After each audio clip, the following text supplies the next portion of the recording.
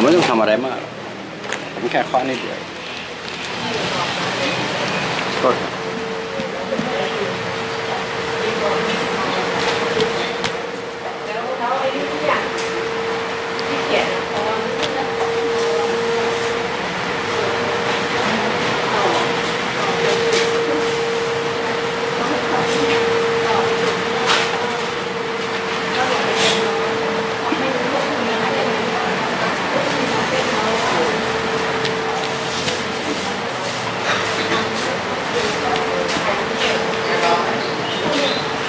พิ จารณาไปเลยดูที่จะหายได้ไงแล้วผมจะอธิบายผ่านหลักพุทธศาสนาได้ไงโอเคนะว่าผมจะอธิบายผ่านหลักพระพุทธศาสนาได้ไง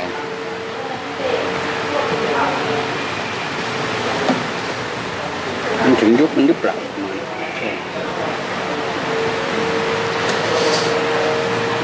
ก็ถึง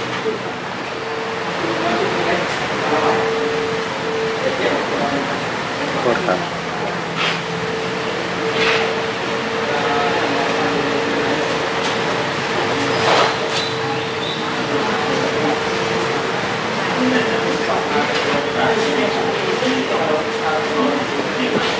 โทษครับ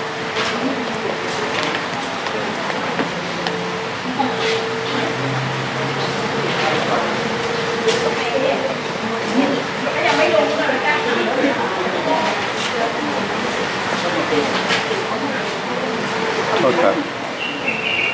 โทษครับ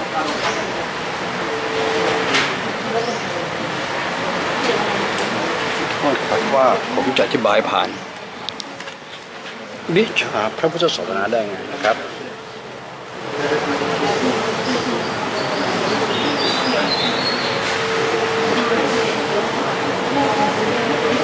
โทษครับปึ๊บปึ๊บ อ่าสังเกต เงยหน้าขึ้นนิดหนึ่งครับอ่าเงยไปเลยครับ โทษครับ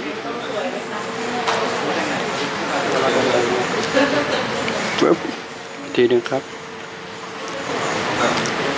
ไปแล้วครับปึ๊บ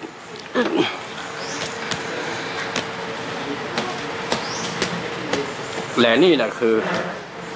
จิตรักษากายจ้ะขยับสิครับ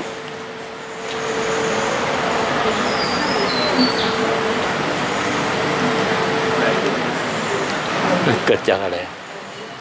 นี่คือจิตรักษากายนี่คำตอบสุดท้าย ผมถามท่านก่อนว่า สิ่งที่ผมพี่นี้โอเคไหมครับ หายหมดไหมครับ ชัดเจนนะฮะผมพูดก่อนนะ นี่คือจิตรักษากาย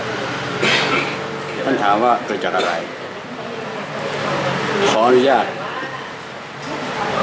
ตอบเป็นคำต้นเลยสรรพสิ่งใดเกิดมา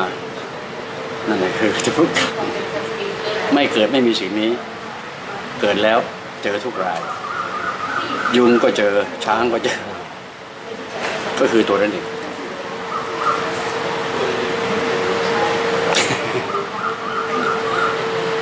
ถอยหลังกลับทำไงจะพัฒนาให้เป็นชาติสุดท้ายคือไม่เกิดนี่คือคำตอบสุดท้ายเหมือนกันแล้วก็ย้อนกลับมาจะผ่านอะไรผ่านปฏิสูผ่านหลักสติ ก็ปฏิจจสมุปบาทก็ได้ ผ่านวิธีขันห้าก็ได้ ผ่านสติทั้งเอ่อผ่านสติทั้งอืมเอ่อสติสัมพิทาสี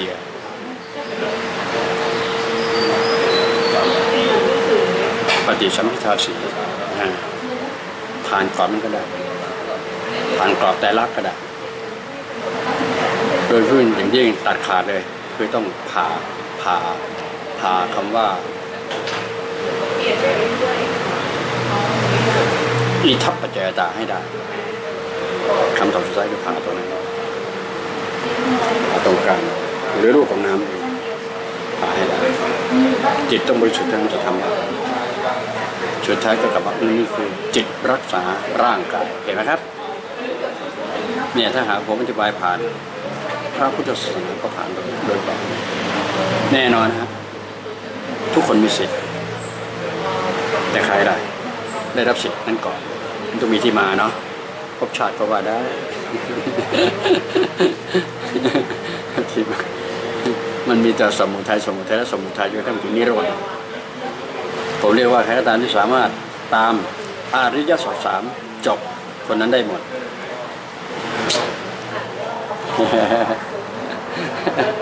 ความจริงสามประการได้ได้หมดเลย ก็คิดว่าน่าจะพูดแค่สามสี่แบบนะสิ่งนี้ผมอยากจะบรรยายให้กับพระสงฆ์ฟังเพราะว่าผมจะเข้าใจ โดยผ่านการปฏิบัติโดยแท้นั้นจะพยายามลิงก์เข้าสู่ทฤษฎีหรือตำราที่ท่านศึกษาโดยตรงมาอยากจะให้เป็นเช่นนั้น ไม่งั้นทฤษฎีก็จะเป็นหมัน ไม่มีปฏิบัติเข้ามาประกอบ ส่วนหนึ่งแล้วมันก็มันไม่ค่อยได้ทวินวัน คือคนได้ทฤษฎีก็มักจะไม่ได้ปฏิบัติ คนได้ปฏิบัติก็มักจะไม่ได้ทฤษฎีให้ผมปฏิบัติได้ ทฤษฎีมันก็ไม่เอาไหน อ้างถึงก็พอแต่ปฏิบัติย่อมมาก่อนทฤษฎีแน่นอน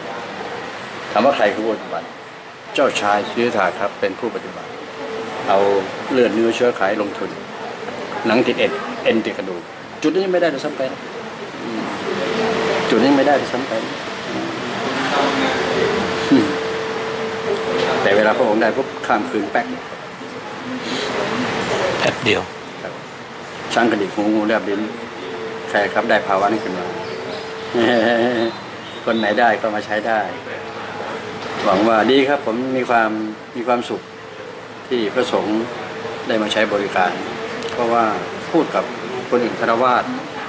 ต้องยกไม่น้ำตั้งห้าเยอะแยะอันนี่ไม่ต้องเลยเอาแค่หัวกะทิเข้ามาแชร์มาปุ๊บเฮ้ยเฮ้ยเฮ้ยโดยเอาร่างกายมาเป็นตัวคำตอบสุดท้ายเพราะว่าผมพูดคำสุดแรกก็คือนี่คือจิตรักษา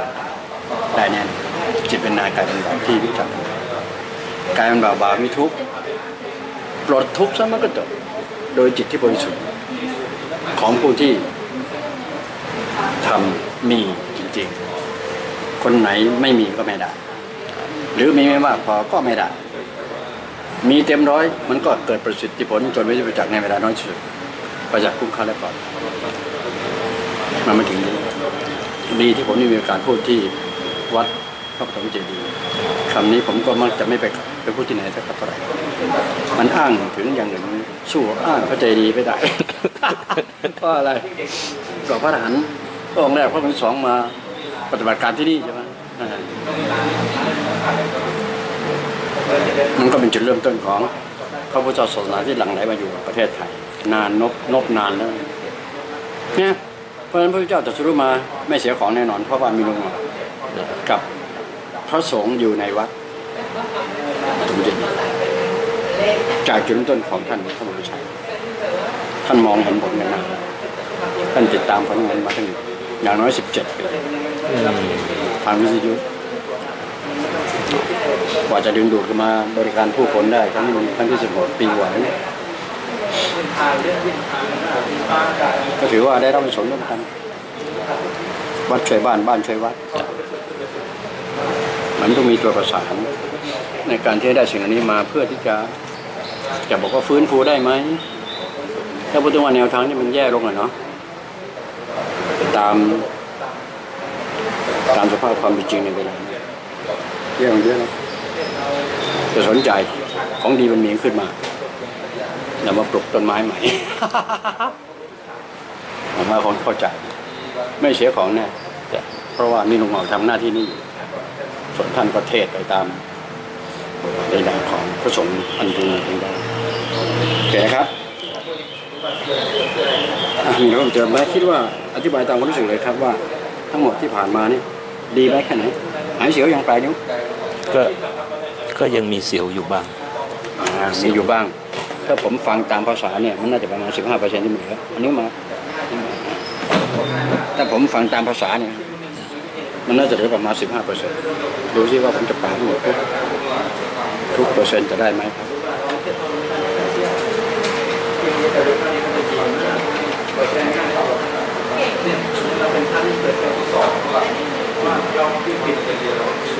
ผมอธิบายเรื่องของหลวงพ่อคือไฟฟ้าสถิต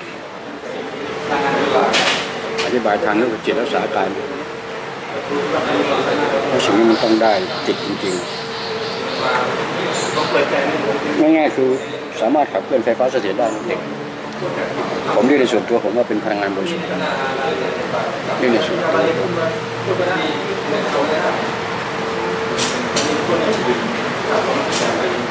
เนี่ยพอเวลาผมใช้มือผมจริงๆแล้วจะต่างกับให้ความรู้สึกต่างกันเยอะ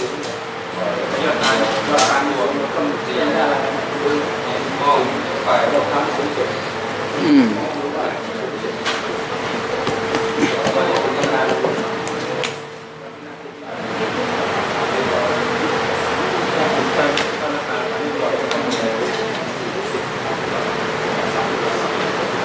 แล้วท่านก็จะมีคำตอบท่านที่เวลาไปอยู่ในเวลาเวลาพิจารณาต่อครับทางการแพทย์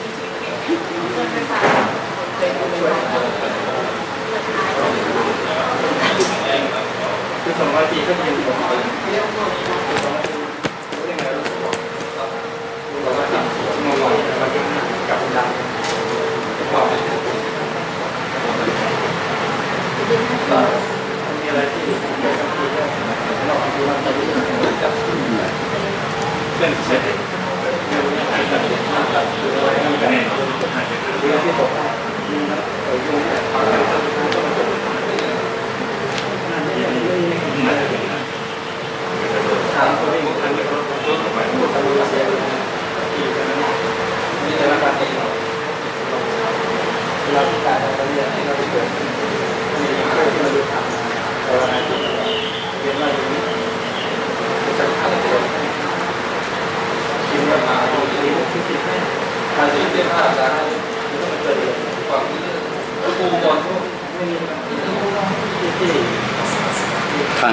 สอนเรื่องสกปรกเรื่องของความความสะอาด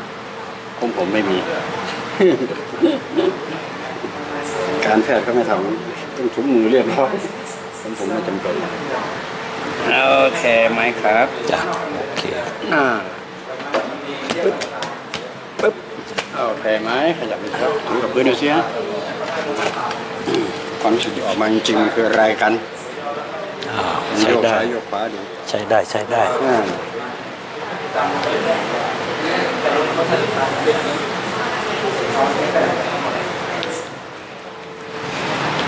เพราะมันเสียวนี่มันเดินแล้วมันก็ใช่ไหมมันแหยงอะ ใช่ใช่ใช่มันเหยียบไม่เต็มเท้ามันแหยงมันถ้าไม่ไม่ใส่ถุงเท้าไปเดินพื้นเนี่ยมันจะแสบใช่ค่อยใช่มันระแวงอะๆพอมันระแวงมันก็ไม่เป็นธรรมชาติ แล้วตอนนี้ นอนบางบางทีนอนเฉยๆมันก็มันก็เสียวมันมันคือมันมันบอกไม่ถูกอะอืมมันไม่ให้หลับอะแล้วก็อืมแต่ถ้าถ้าทำจิตนิ่งๆนิ่งๆเนี่ยอืมอะมันธรรมดาแหละอ่าฮะใช่เสียวก็ธรรมดาหลักพุทธศาสนามาแล้วช่วยแล้วมันก็มันก็จะให้หายไป เออก็ ดีแล้วที่ท่านพูดแบบนี้ครับ ดีนะ หลักพุทธศาสนาก็มาช่วยเราตรงนี้ครับคนไหนไม่ใช่หลักพุทธศาสนามาเลย เป็นทุกข์หนักข้อเลยโอเค เดี๋ยวนี้เพื่อนผมจะปรับให้ตั้งแต่ศีรษะตอนนี้มาถึงสมองพวกนี้ต้องมาถึงเรื่องสมองจะเบาหัว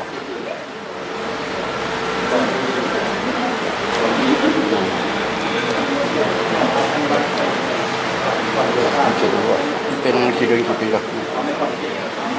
ประมาณหนึ่งเดือนนะ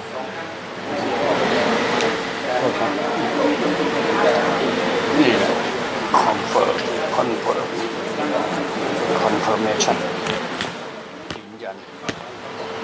การการกระทำโทษครับ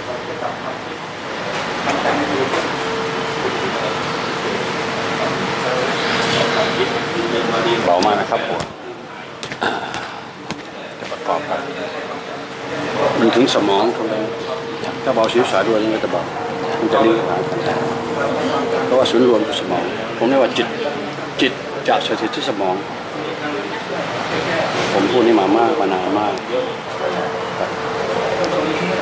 เพราะว่าเคยเขาเวทนามากๆก็ก็จะอืมเวทนาปกติของมนุษย์ครับเวทนาเป็นปกติของมนุษย์แล้วเจอบ้างดีมีคำสมสัตย์กำกับนะอ่าเอาหนักกว่านี้เอาลองหนักหนักกว่านี้หน่อยเลยเอาหนัก ขาๆดิเนี่ยอะไรเนี่ยบอกมันมันไปเลยใช่ใช่อะบอกหนักหนักกว่านี้หน่อย แค่นี้ยังทนได้สบายมากบอกเออ แต่พอมันพอเราพอเราถึงมันเนี่ยมันก็เบาอ่าเบาบางทีมันหายไปเลยเอออืมมันหายต้องต้องใช้วิธีเนี่ยเรียกว่าเกลือจิ้มเกลือครับท่านอืมคือเคยเคยเกือบเกือบ คือเกือบไปแล้วอืมหนักจนเมื่อสักห้าหกปีที่แล้วอืมหายใจไม่ลงครับคือหายใจมันมันสั่นสั่นจะถึงเนี้ยถึงอืมพอถึงเนี้ยคือตอนนั้นไม่มีกำลังแม้ที่จะกระดิกนิ้วอ่าหลับตาหรือลืมตาเอง ไม่มีกำลัง แต่ว่ายังยังยังยังมีสติอยู่ว่า เออ เออยังยังยังรู้อยู่นะคือรู้รู้ทุกอย่างรู้แต่ไม่ได้ไม่ได้รู้ด้วยความรู้สึกเนี่ยแต่ว่ารู้ด้วยสติว่าอ่าฮะเออเรายังเรายังอยู่ ตอนเนี้ยมันก็มันก็จะ